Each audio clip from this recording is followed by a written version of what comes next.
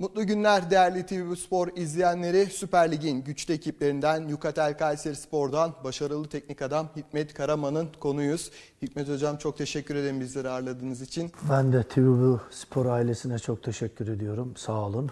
Hocam sezonun ilk yarısını geride bıraktık. Ee, Kayseri Spor'un ilk yarı değerlendirmesini sizlerden rica edebilir miyiz? Evet, e, şu anda e, e, yani bugün itibariyle hafta sonu ikinci yarıya başlayacağız. E, Altay maçından sonra göreve geldim. İlk devreyi 24 puanla kapattık. Bence bu başarı değil. 30'un üstüne çıkabilirdik. Yani benim başarı kıstasım şampiyonluk. Bunu daha önceden de birkaç kere söyledim. Tabii geçmiş dönemlerde demin de sen vurguladın 3-4 senedir e, Kayseri Spor ilk devrenin sonunda e, ligin, ligin dibinde e, ve küme düşme potasının tam yani tabiri caizse e, ateşin içindeydi. E, bugün baktığımızda biraz daha iyiyiz. Yeterli değil. Hem şehir hem taraftar hem Başkan Berna Hanım e, iddialı bir isim. Dolayısıyla e, daha yukarılarda olmamız gerektiğini, daha iyi şeyler yapabile- yapabileceğimizi biliyoruz. Çünkü oynadığımız maçlarda kaybettiğimiz puanlar e, ortada. E, dolayısıyla yeni kurulan bir takım. Yani 15 tane yeni oyuncu gelmiş, yabancı gitmiş, yerle gitmiş.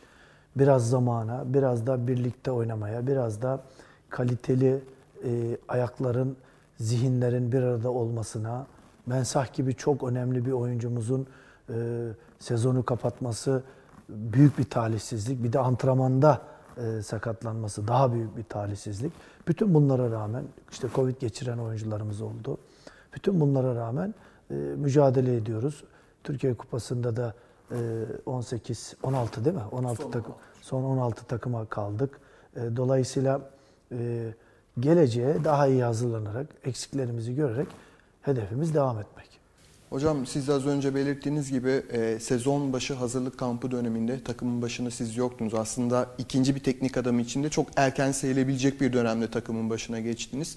Ama neticesinde sezon başı hazırlık kampları her zaman çok önemlidir. Normal şartlarda aslında bu dönemlerde devre arası kamplar olurdu ve sizin gibi teknik adamlar için bir e, kondisyon yükleme aşamasında çok önemli devre arası kampları. E, sezon ortasına doğru ya da sonlarına doğru bu kampın olmayışı takımı nasıl etkiler? Pazar günü Altay'la iç sahada çok önemli bir maça çıkacağız. Bu sadece bizim için değil, bütün takımlar için geçerli. Bir de 31'inde kupa maçı oynadık. Yani oyuncular dinlenemedi. Birinci problem oyuncuların dinlenmesi gerekiyor. Bu kadar sakatlığın temelinde yatan tüm Avrupa ve dünya için söylüyorum. Oyuncular oynamış oldukları müsabaka sayılarına orantıyla dinlenme sürelerini birkaç günden geçirmek zorunda bırakılıyor. Yapılan hem UEFA'nın hem de ülkelerdeki federasyonların maç trafiği programı böyle. Hal böyle olunca e, oyunculara inanılmaz derecede yük biniyor. Maalesef hazırlık kampını hiçbir takım e, geçirmeden hatta ve hatta transferde geç başladığı için çünkü normalde transfer ikinci yarı bir takım transferine başlayıp lige girmeli. İkinci yarı başlıyor. Transferleri sonra yapabileceksiniz. Yani o kadar e, düşünüyorum yani. Şimdi ben yetkili biri olsam biri bana sorsa cık, hakikaten bu işte bir hata yapmışız derim yani. Şimdi gündeme gelince bazı takımlar kabul etmiyor. Niye etmiyor? Avantajını, rakiplerin dezavantajını avantaja çevirmek istiyor. Örneğin bunlardan bir tanesi ne olabilir? Birçok Anadolu kulüplerinde oyuncular Afrika Kupası'na gidiyor. Eksik başlıyor. E, sakatlıkları var. Bazı kulüplerinde kadroları inanılmaz derecede geniş. Geçen seneki kadrolarıyla devam edip üstüne 3-4 transferle devam eden kulüplerimiz var. Bazı kulüplerimiz e, e, sakatlık anlamında e, Allah vermesin iyi gidiyorlar. Çünkü bu da büyük bir şans. Oyuncuların e, şimdi bir e, darbeye bağlı sakatlıklar var ki biz bunları yaşadık. E, Bir de oyuncuların işte adele yırtılması, çekmesi vesaire zaman zaman bu antrenman programından, zaman zaman oyuncunun günlük yaşayışından, özel yaşantılardan, iyi uyumun bir sürü bir sürü şeyler sayabiliriz bununla ilgili. Kısacası şu. e, Hazırlık yapmadan direkt lige gireceğiz. Sezon hazırlık kampı çok önemli sezon başı. Zaten sezon başı hazırlık kampını geçiren takımlar ligde baktığınız zaman hem iyi yerde duruyorlar hem de fiziksel anlamda. Çünkü futbolda teknolojiyi kullandığımız için bakıyoruz e, fiziksel anlamda çok iyi olan takımlar var. Bütün takımlar şu anda bizim mercek mercek altımızda. Karşılaştırdığında ha diyorsun bu kampı çok iyi geçirmiş. İşte bakıyorsun maç sonu koşu mesafelerine, yüksek şiddetli mesafelere, sprintlere, ikili mücadelelerdeki o şeye genel bütün takımlarla kıyasladığında oradaki farklıları görebiliyorsun.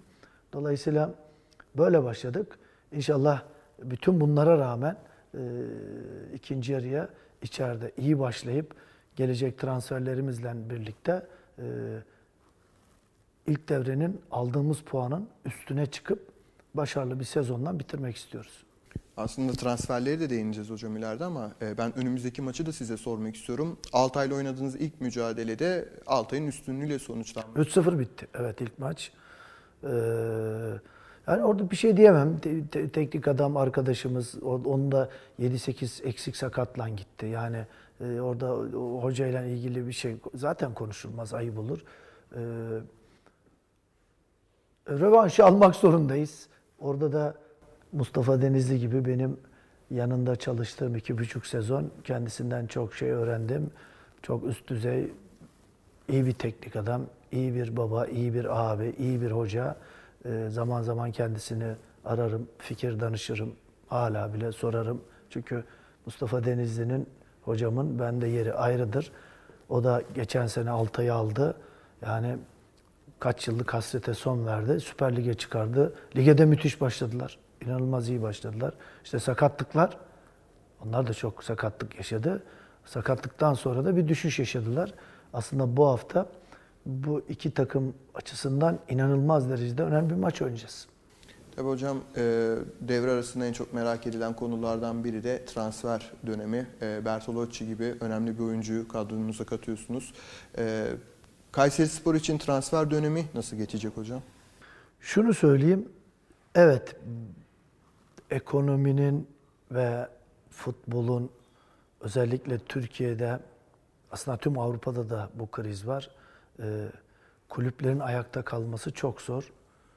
Kayseri Spor bu anlamda e, Berna Hanım'ın gerçekten kişisel çabası 3 senedir e, transferler, gelen giden hocalar, zaman zaman e, biliyorsun bazen yanılabiliyorsun. Doğruyu bulmak için önce antrenmanda bile veya maçlarda bile yanlış olmadan bir takım gelişmiyor. Doğruyu daha çabuk bulamıyorsun.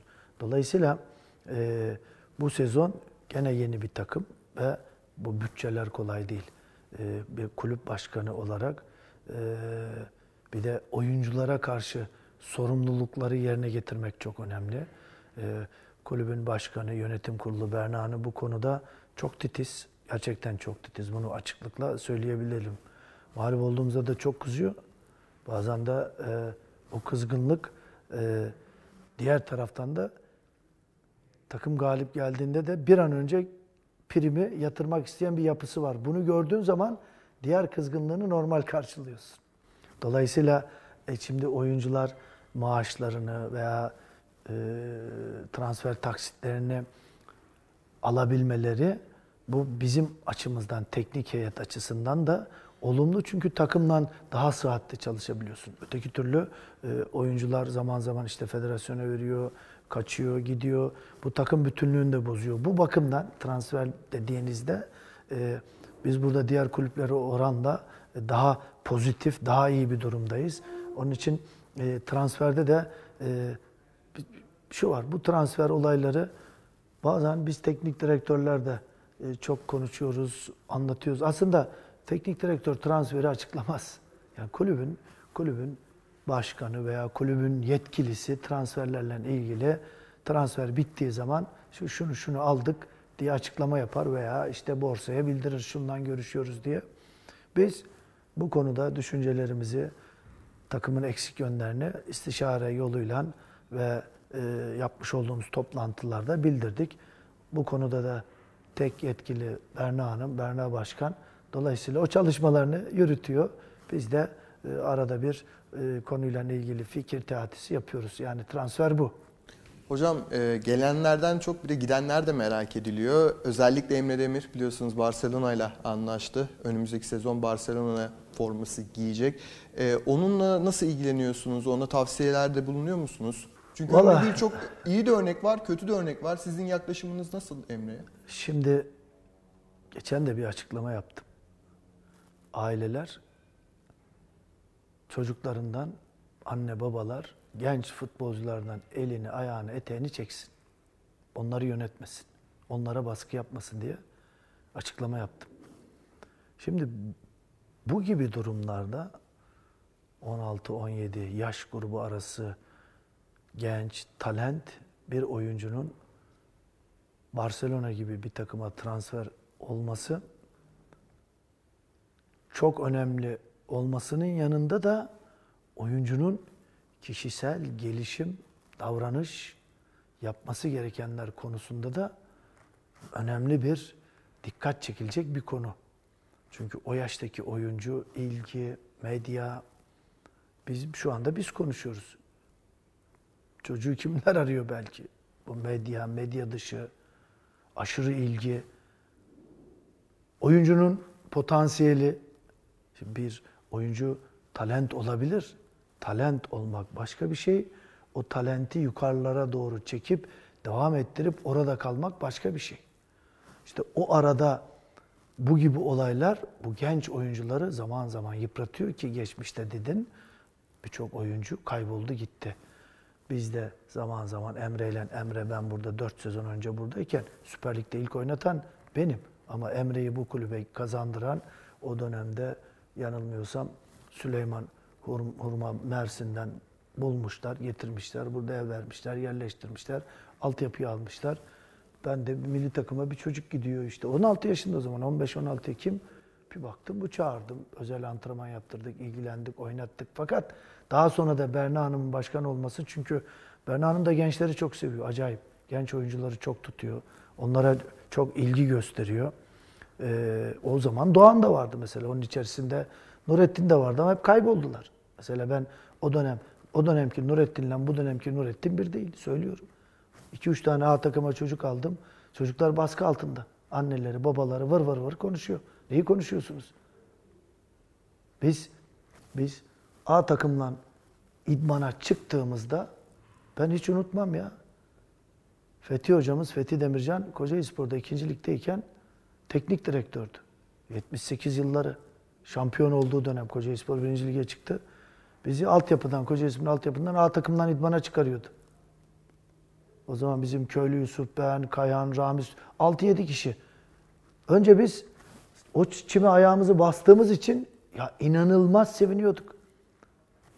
O zaman geçmişte tünelden çıkıyordu takımlar sahaya. O tünelde yağmur yağdığı zaman su basıyordu. Biz önce o tüneli, o A takımdan idmana çıkan çocuklar o tüneldeki suları boşaltıyorduk antrenman başlamadan. Sonra Fethi Hoca sahadaki e, kağıtları, pislikleri temizlettiriyordu. Ve biz o A takımdan antrenmana çıkıyoruz diye havalara uçuyorduk. Ya şimdi bakıyorum, bizim altyapıdan A takımı aldığın çocuk bir ay sonra bozuluyor. Bir sürü şeyler devreye giriyor. Ve bu işte kayboluyor bu yüzden de. Bunu kabul etmiyorum. Önce ailelerden. Bırakın orada bir teknik adam var. Bırakın bakalım teknik adam bırakın. Futbolu bu kadar biliyorsanız alın bir pro lisansı gidin antrenörlük yapın. Siz o genç kendi çocuklarınıza bu kadar baskı uygularsanız o zaman o çocuklar kaybolur. Ne yapacağını şaşırır işte çocuk gol pozisyonuna girdi atamadı. Yukarı bakıyor ya çimler böyleydi ondan vuramadım diyor. O mesajı veriyor. 18 yaşındaki çocuk o mesajı veriyor. Böyle bir şey olur mu? Bu neden? Hep aşırı baskıdan. Dolayısıyla Emre iyi bir yetenek. Ee, inşallah Gittiğinde başarılı olur. Ama oraya gitmeden de burada oradaki başarılı olacağının mesajını vermesi gerekir. Nokta. Yani altyapıda aslında görünmeyen sorunlardan bir tanesi de aslında sizin bu değindiğiniz noktalardan Kesinlikle. biri. Kesin bu ailelerin hemen hemen bu konuyla ilgili çünkü çocuk etkileniyor. Mesela arada bir A takıma giriyor örnek bir prim alıyor. İyi de prim alıyor. Bilmiyorum ne oluyor. Anne baba el mi koyuyor, babalar el mi koyuyor? Ya da ona alışıyorlar. Bu sefer giremeyince niye giremedin mi diyorlar çocuğa. Veya babası diyor benim çocuğum iyi. Hoca oynatmıyor diyor. Çok biliyor ya ulema. Son dönemde bu konuda çok sinirliyim ve kızgınım. Onun için de bu açıklamayı yaptım. Aslında bütün hatta bizim altyapı sorumlumuz geldi. Geldi. Tolga hocam geldi. Ya hocam teşekkür ediyorum dedi ya. Çok önemli bir konuya değindin dedi. Yani onlar bu konuda bizden daha uzman kişiler. Dolayısıyla altyapıdaki talent, yetenekli oyuncu konusu da bu. Hocam mevcut kadronuza gelecek olursak da e, sizinle beraber Kayseri Spor'un yükselen bir performansı var ama futbolcu bazında da Mehmet İyam'da e, çok başarılı bir performans sergiledi. Attığı gollerle takımı sırtlamayı da başardı. E, Afrika Uluslar Kupası'nda mücadele edecek. Siz de az önce belirttiniz. E, bu performansını ne derecede etkiler? Şunu söyleyeyim. Çok ve net. Mütevazi de olmuyorum. Net. Benimle çalışan oyuncu yüzde yüz eğer yeteneği varsa, antrenmanı seviyorsa performansı değişir. Kendini çok yetenekli görüp söylediklerimize uymuyorsa bazen ben de takip ediyorum. Hiçbir şey olmuyor oyuncudan. Acaba biz mi hata yaptık diye ayrıldığımda bakıyorum oyuncuya. Nerede oynuyor, ne yapıyor? Bir bakıyorum hiçbir yerde değil. Bilakis şey düşmüş. Şimdi ben en sondan başlayayım yani. İşte geldiğimde 4 sezon önce e, Deniz Fenerbahçe'ye gitti. Bu Mensah Beşiktaş'a gitti. İki tane örnek vereyim. Sapın Ağır Denizli'ye, Lopez oraya. Yani elimdeki oyuncuların hepsi, çalıştığım oyuncuların hepsi gündeme girip başka takımlara gitti. Bunu geçmişte bin tane örnek sayarım sana. Bin tane. E şimdi bu sene Tiam belki de Türkiye Ligi'nde en iyi dönemini geçiriyor. Halbuki en iyi dönemini Fenerbahçe gibi büyük kulüpte geçirmen lazım. İyi oyuncularla insan daha iyi oynar. Kalitesi yüksek. 25-50 bin taraftar önünde daha farklı oynar. E dönüyorsun. Mensah, burada ben varken Mensah Beşiktaş'a gitti. E geldiğimde de sakatlanmasa bugün Mensah belki belki Avrupa'ya gidecekti açık söyleyeyim. O derece formda başladı. Hala attığı gol ve asistleri ligde dereceye giriyor. Oynamıyor. O son son 12-13 maçtır yok. Dolayısıyla eee, sadece o değil, Onur bana göre şu anda Türkiye'nin en iyi sağ beki. Milli takımda oynamalı. Çağrılmalı. Oynamalı demeyeyim, çağrılmalı. Zeki orada olmasına rağmen.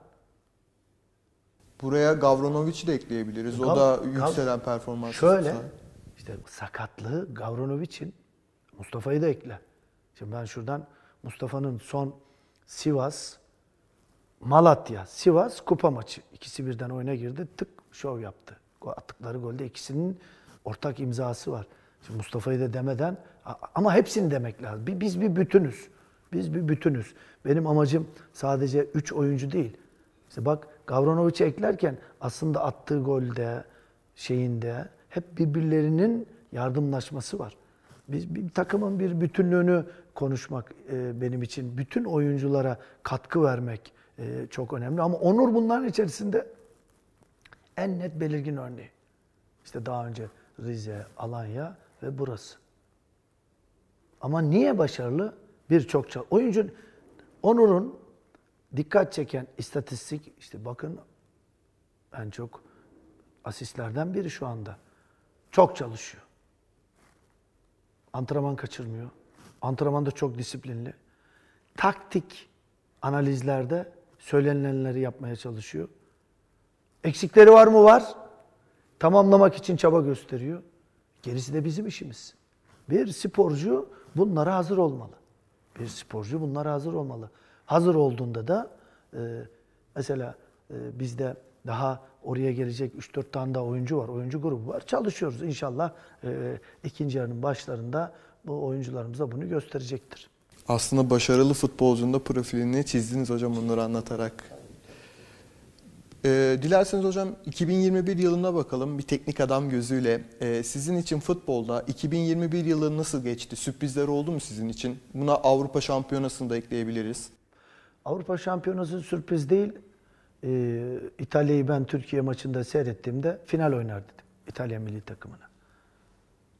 Hatta FIFA başkanıyla e, Bakü'de konuşmamızda da o da İtalya'yı tutuyordu. Dedim final oynar şampiyon olur dedim. Finali kesin oynar. Şaşırdı. Neden? Bir kere taktik anlamda sahada inanılmaz bir takım görüyorsunuz. Hem duran toplar, hem organizasyon, hem maçın başlangıcı, ilerleyen oyun sürecinde e, Mancini'nin taktik anlamda oyuna etkisi, oyuncuların bir arada oluşu e, seyrettiğim maçlarda öne çıkan takımdı. Daha sonra İngiltere gruptan çıktıktan sonra oynadığım maçlarda da dikkat çekmeye başladı. Nihayetinde final oynadılar. E, Dolayısıyla e, İtalya orada e, duran toplarda çok güzel örnekler verdi. Ben de hatta bazı şeylerinden faydalandım. E, Onun dışında e, koronanın getirmiş olduğu etki işte Tottenham kulübünü mağlup saydılar değil mi? Evet. Yani bana göre bir acayip bir karar bana göre yani. Adamda bir sürü hasta oyuncusu var. Sen adamın bu benim kendi şahsi düşüncem. Klopp'la e, Guardiola'nın e, takım e, transferindeki takım kurguları ve oynattıkları oyun ikisi arasında bir yarışa dönüştü. Yani önce City'nin şampiyonluğu, daha sonra Klopp'un gelmesi, orijin stoperlerle olması, karşı presi koyması, çabuk atağa çıkması veya işte Guardiola e, orta sahadan sol bek, 10 numara yani farklı bir oyun anlayışı sergilerken Liverpool şampiyon oldu. E, Guardiola bir daha oyun işte bizim ilk aydan bile gizli santrofor faydalanıp farklı bir statü yapıp tekrar işi ele geçirmesi. Yani orada orada artık taktik savaşlar, o taktik savaşlarına göre oyuncu e, planlaması, oyuncu e, transferleri ön plana çekti İngiltere'de. Benim için dünyada futbolun dikkat edilmesi, bir teknik adam açısından seyredip bir şey görülmesi en önemli yerlerden biri İngiltere. İşte İtalya'ya baktığında evet belki top rakipteyken defansı zaten İtalyalıların en büyük özelliği top rakipteyken oynayan bir takım. Kendi alanını iyi kapatan bir takım. Ama geçmiş özelliğini yitirdiler. E dönüyorsun Almanya evet. E, Bayern Münih her zaman e, ligi domine eden, e, daha sonra e, işte teknik adamlarının e, fazla lig takımında, büyük bir takımda çalışmamasına rağmen sadece milli takımda Löw'ün yardımcılığından Bayern Münih bütün kupaları alması, oradan milli takıma diğer taraftan bakıyoruz. İşte Leipzig'ten de e, Nagels e, Nagelsmann e, Bayern'e gelmesi, Bayern'in bazı maçlarda 5-6-7 gol atması dikkat çeken konular. Bazen de berabere veya mağlup olması da dikkat çeken konular. Ee, onun dışında İspanya artık o da bir krizden etkilendi diye düşünüyorum. İşte Messi'nin gitmesi, Barcelona'nın zayıflaması, işte Real Madrid'in sık sık antrenör değişmesi. Gene Simone Atletico Madrid'de belli bir şeyi koruyor. Şampiyonlar Ligi'nde de koruyor.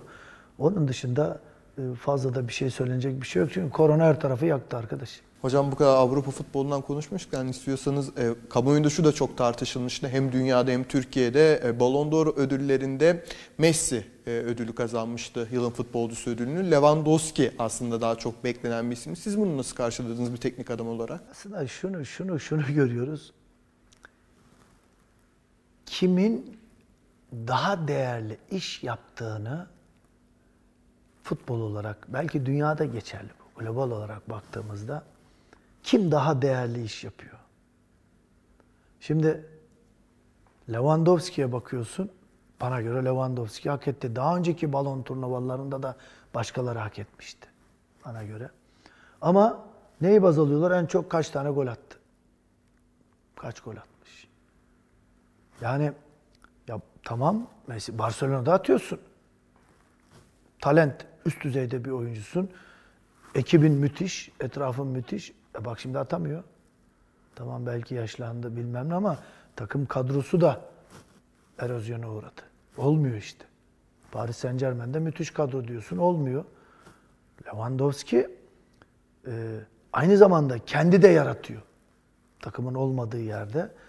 Şuraya geleceğim. Ligde bizde de alttaki takım en sondasın, alıyorsun, takımı kurtarıyorsun. En sondasın, alıyorsun, takımı kurtarıyorsun. Herkesin düştüğü dediği bir takımı kurtarıyorsun. Yaptığın iş hiçbir değer kazanmıyor. Zaten güçlü, şampiyon olan bir takımın birçok şeyi kamuoyu tarafından veya otoriterler tarafından birincilikle değerlendiriliyor. Bak şimdi burayı eleştiriyoruz değil mi ülke olarak? Yani niye Messi diyoruz? Veya üst düzey teknik adamlar da bunu şey yapıyor. Veya şimdi Bielsa'nın Leeds'te yaptığı şu maçı kaybetse belki gidecekti adam. Son maçını. Ya eldeki kadro belli. Elindeki kadroyla temposu yüksek, mücadelesi gücü yüksek. Bazen yeniyor, bazen yeniliyor. Bir elinde bir Liverpool'un bütçesi yok ki. Bir City'nin bütçesi yok ki. Onun iki futbolcusu Leeds takımı ama teknik adamlığı var. Onunla uğraşıp bir şeyler yapmaya çalışıyor. Dolayısıyla kimin yaptığı iş daha değerli. Şimdi bakıyoruz. Bizim ligimiz de önemli. Ligimizde sıralamaya bakıyoruz. Ee, başarılı olan teknik adam arkadaşlarımız var. Bazen bazılarını bazı teknik adamları futbol takımının üst düzey oyuncuları teknik adam yapıyor. Çok net. Kimse hikaye anlatmasın. Çok net. Ben bir dönem Bursa Spor'a gittim. Lig dördüncüsü olduk. Müthiş. Çat çat çat. Pablo Bataşa, Bellucci çatır çatır oynuyor. Serdar da o zaman Bursa'daydı. Orada takımı yönetiyorsun, taktik veriyorsun. Biz hiç kimsenin umudu olmadığı bir yerde çünkü Kasımpaşa'da Şoto vardı, müthiş takımdı. Altımızı aldık, lig dördüncüsü oldu, UEFA'ya gitti. Şuraya geleceğim. Çok iyi oyunculardan kurulu takım teknik adamda iyi coaching yaptı mı ön plana zaten çıkıyor. Ama diğer taraftan mevcut kadrosunu geliştirip ligde önemli bir yerlerde oluyorsanız esas yapılan iş yani e, değerli iş odur benim için. Değerli iş odur. E şimdi birisinin kadrosuna bakıyorum. Müthiş kadroya. iki tane 11 var. İki tane 11 var kardeşim. Diğer taraftan iki tane oyuncunun sakatlandı mı yerlerine koyacak adamı yok. Hamle yapacak adamı yok. Karşıdaki bir maçı tutuyorsun, galip de götürüyorsun. Ya bir hamle yapıyor, bütün şeyin kırılıyor. Direncin kırılıyor. Sen de hamle yapıyorsun ama tutmuyor, karşılığı tutmuyor. Ya şuraya geleceğiz, fazla uzatmaya gerek yok. Ee, oyuncu grubu çok önemli. Kaliteli oyuncu grubu çok önemli. O teknik adamın da e, vizyonu, coaching'i, iletişimi, e, kendini resetlemesi o da olduğunda işte bir takım ortaya çıkıyor. Hocam dilerseniz Süper Lig'deki şampiyonluk yarışına da bir değinelim. E, Trabzonspor şu an e, büyük bir farklı önde özellikle potansiyel rakipleri Fenerbahçe, Galatasaray ve Beşiktaş'ın da çift taneli e, puanlarla önünde yer alıyor. E, siz böyle bir Trabzonspor'dan başlangıç ilk yarı özelinde bekliyor muydunuz? Şampiyonluk yarışı sizce nasıl ilerler bu saatten sonra? Arkadaşlar Trabzonspor geçen seneki kadrosunu korudu. Teknik adam değişikliğiyle birlikte bir oyun bir oyun ortaya koymaya çalıştı. Üstüne transferler yaptı ve devam etti. Şimdi bakıyorsun diğerlerine. Fenerbahçe, Galatasaray, Beş evet Beşiktaş da şampiyon oldu, kadroyu korudu. Tabi orada bir orada bir anormal bir durum var. Onu burada anormal bir durum var. Mutlaka bizde bazı düşüncelerimiz var biliyoruz. Galatasaray gençleştirmeye gitti. Genç Türk oyuncularını toparladı. Onlar da Avrupa'da müthiş oynuyor. Türkiye'de bazen böyle gitgelli maçlar yaşıyor. Ben Fenerbahçe'den hem kadrosu geçen sene bu sene çok daha iyi oyun. Yani Trabzonspor'la birlikte ligde söz sahibi olacağını düşünüyordum ama e, enteresan. Enteresan. Bence e, Fenerbahçe'de e, nasıl söyleyeyim e, işte teknik Erol Hoca ile başladılar. Ondan önce koku vesaire, değişim, değişim. Ee, işte şimdi gene bir e, soru işaretleri var. Halbuki şu 2-3 maçta berabere kalıp kaybetmeselerdi Trabzonspor'la birlikte bu yarışta çok söz sahibi olabilirlerdi. Ama şu andaki duruma baktığın zaman e, Trabzonspor, Abdullah Hoca yani bu avantajı dezavantaja dönüştürmemeli veya çok zor dönüşür diye de düşünüyorum ama 3 puanlı sistemde hiçbir şey belli olmaz. 2 maç kaybedersin. Şimdi aslında aslında esas şey ne biliyor musun? Bizim diğer takımlarımızın işte Konya ve diğer takımlar bence kulüp başkanları zorlayacak 3 oyuncu alacaklar. Hem de iyi oyuncu alacaklar. Oynasınlar şampiyonlar. Ne korkuyorlar ya? İkincilik yeterli biz burada bu tarihimizin en iyi yerinde duruyoruz diye du- durma. Yakaladın mı? Sen onu değerlendireceksin. Değerlendireceğim. Bir daha öyle bir şans yakalayamazsın. Bir daha büyük kulüplerin bu kadar ligde e, inişli çıkışlı grafik izlediği bir sezonu Anadolu takımlarının hiçbiri yakalayamaz. Yakaladın değerlendir işte. Özellikle üçünün aynı anda. Üçünün de aynı anda değerlendirmeleri lazım. Peki hocam milli takıma da çok kısa değinelim istiyorsanız. Milli takımda e, Katar yolunda Portekiz'le eşleşti ki aslında e, potansiyel rakiplerine baktığımız zaman şu gelmesin bu gelmesin dediğimiz iki takımda rakibi oldu A milli futbol takımımızın. Portekiz, Portekiz'i geçmesi durumunda Kuzey Makedonya ya da İtalya maçının galibiyle. E, siz bu eşleşmeleri nasıl değerlendiriyorsunuz? Valla evet o gelmesin bu. Güldüm ya.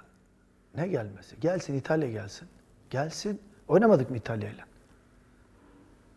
E gelsin. Portekiz gel. Ne var Portekiz'de? Portekiz milli takımda ne var ya? Konuşuyor. Ne var? Sen zaten Dünya Kupası'na gideceksen Portekiz'i yeneceksin kardeşim. Veya yenilebilirsin. Çıkıp çatır çatır çatır oynayacaksın. Futbolda yenmek de var, yenilmek de var. Ama çıkıp çatır çatır oynamak başka bir şey. Yenildim ama ben oynadım. Bir de ay çok zor. Ne yapacağım? Öyle bir şey yok. Türk milli takımı bana göre Avrupa'da söz sahibi oyunculardan kurulu. Bu benim şahsi fikrim. Biz hep böyle vasat takım, gruplarda vasat takımlarla oynadık. Bir Fransa maçı bizi bir havalandırdı. Oyuncuları da belki havalandırdı. Kendimizi başka türlü görmeye başladık. Pat Avrupa Şampiyonası'nda tokadı yedik. Bir herkes silkelendi. Oyuncular başta olmak üzere. Dolayısıyla şimdi e, Portekiz'de bir sürü şey var ya. Onlar da bir değişim geçiriyor yani. Ne var yani Portekiz'i biz Portekiz'de yendik. Bir hazırlık maçında ben de oradaydım. Umut atmıştı golleri galiba. 2-0 mı 3-0 mı tam hatırlamıyorum. Gittik Portekiz'i Portekiz'de yendik. Ne var Portekiz'de yani futbol artık her takım her takım çok iyi analiz edilebiliyor. Dolayısıyla Portekiz'ini yeneceğiz. Oradan da İtalya çıkar muhtemelen. İtalya maçında da Avrupa Şampiyonası'nın finaline oynayacağız. Bu kadar basit. Bu kadar basit. Nedir yani? O çıkmasın, bu çıkmasın, bu biz zayıf rakipleri zor yendik arkadaşlar. Zor yendik bakın. Hem Avrupa Şampiyonası'nda gruplardan çıkarken 90 dakika kornerden falan attık golleri yani. 0-0 gidiyordu maçlar. Sen o iki maçta çık 4 puanı gidemiyorduk. Onun için benim şahsi kanaatim iyi bir milli takıma sahibiz. İyi bir milli, deneyimli, uluslararası, internasyonel deneyime sahip milli takıma sahibiz.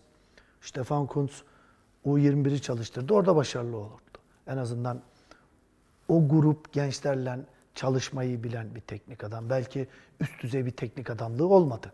Ee, Dolayısıyla ama Avrupa Şampiyonası'nda 21 yaş grubu ve bizim oyuncularımızın Avrupa'da oynaması, bir dili beraber konuşabilmeleri, o iletişimi sağlama, sağlaması bir avantaj olabilir. Dolayısıyla e, o da dersine iyi çalışıp dersine iyi çalışıp çıkıp teknik adamlık becerisini de taktik anlamda, maç öncesi oyuncu seçimi anlamında, maça başlangıç anlam- anlamında, devam ediş biçiminde gösterip e, hem bizim istediğimiz skoru hem de kendisinin de e, dünyada, Avrupa'da işte üst kategoride yer alabileceğini gösterebilmeli. Olay bu. Onun dışında başka her şey hikaye. Hocam son olarak 2022 yılından beklentileriniz nedir? Başkanımız Berna Hanım'ın e, en güçlü transferleri yapıp ekonomisinin bol bereketli olmasını diliyorum. Taraftarımızdan Kayseri Spor şehrin takımı, taraftarımızdan şehrin takımının 12. adam olarak geçmişte yağmurda, çamurda, karda, kışta, yolda çekilen eziyetlerle nasıl yapmışlarsa bundan sonra da daha fazlasını yapıp takımın yanında yer almasını istiyorum. Onun dışında da sonumuz ayrı olsun. Çok teşekkür Ben ederim teşekkür hocam. ederim. Evet değerli izleyenler, Yukatel Kayseri Spor'un başarılı teknik adamı Hikmet Karaman'ın değerlendirmeleri geldi ekranlara.